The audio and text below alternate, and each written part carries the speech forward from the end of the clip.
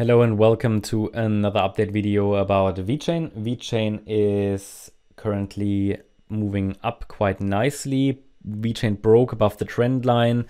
Before we dive into the microstructures here, this is the view on the four hour chart. We have this five wave move up into the March highs and then a corrective pullback into the July lows. So five waves up, three waves down, three waves into support, support region between 1.8 cents and 3.2 cents. And the price was, well, ideally going to turn around in this area. Uh, we have seen this reversal, okay? Or, well, it's not confirmed yet. The market is trying to. In my opinion, we're still in a third wave to the upside, or it could be a C wave. So as long as we don't have five waves up, there is no confirmed low in place. So that means while we have been watching for reversal here and last Monday, I mentioned it to you for the first time, after we had an initial five wave move up and a three wave pullback forming a higher low, this is when we started watching for a rally and now it's materializing. We have a trend line we can watch as well. But important is that as long as we're holding 1.8 cents, I'm focusing here on an overall bullish case, an overall bullish scenario.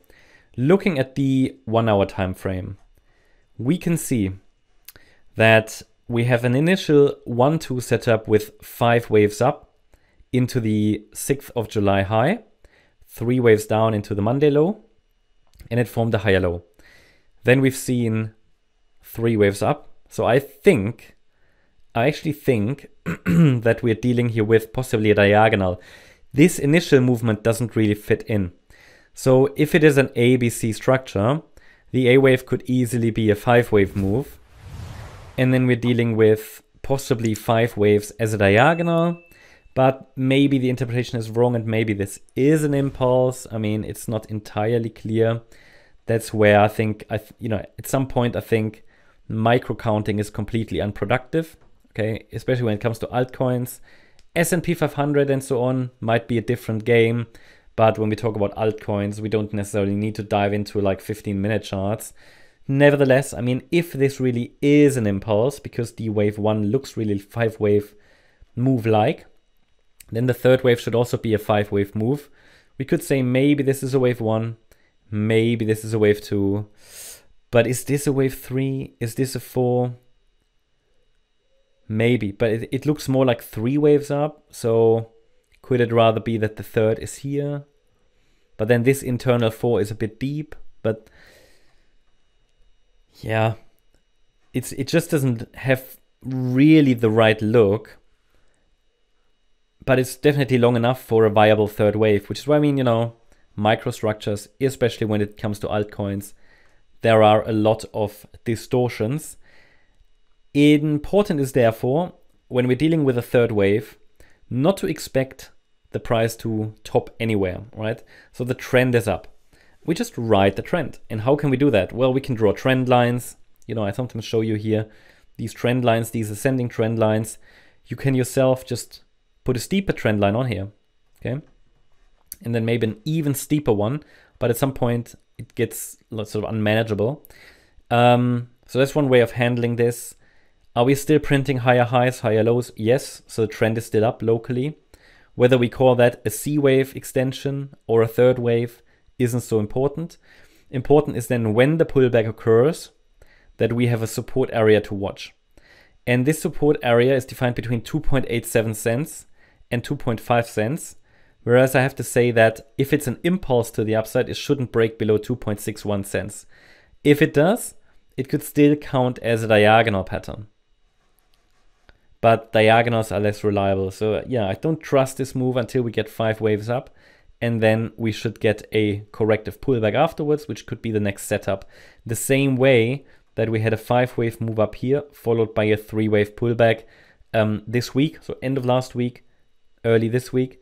And this would then be just the same in large. Five waves up, one, two, three, four, five, and then the three wave pullback. And then we can take it from there.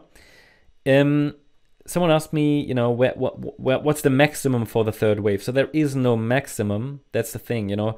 We're in the crypto sector. When a third wave happens, I'm not even sure if this is one, but if a third wave is unfolding, then it can escalate and extend. I mean, it's not even unusually extended.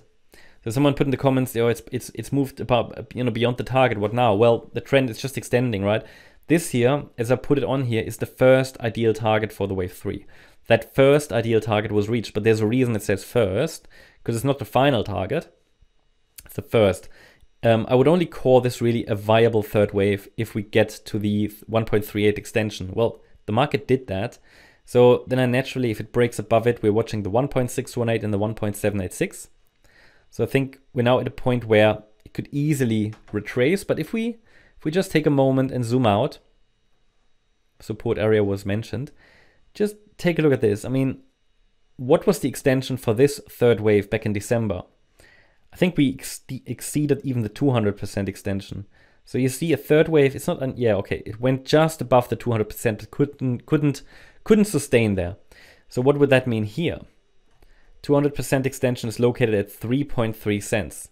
So again, we wouldn't be surprised for the market to get there. I will now also take out that first ideal target um, section. We don't need that anymore. Important are the next ones, right? So what happens if we just go higher? What are the key levels we can watch? And what do we need to be prepared for? So as I said, next upside levels are 3.166 and 3.3 cents. And then beyond that, 3.588. That's my update about VeChain. Hope you liked the update. If you did, please hit the like button, leave a comment and subscribe. And if you really like the content, then please check out the channel membership. Also, make sure that you follow us on Instagram and Twitter for additional content. Thanks a lot for watching. Bye bye.